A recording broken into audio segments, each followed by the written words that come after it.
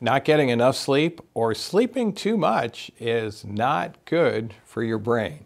Now, some people have what's called total sleep deprivation, whereas they don't sleep at all at night. It might be because they have to be up, working in a hospital, or simply because they can't go to sleep at all.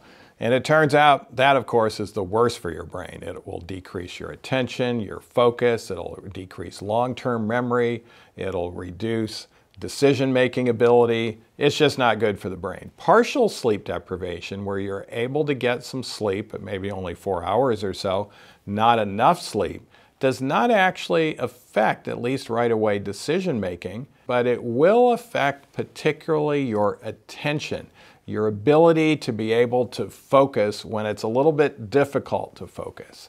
And so I would encourage you to get enough sleep, but at least get some.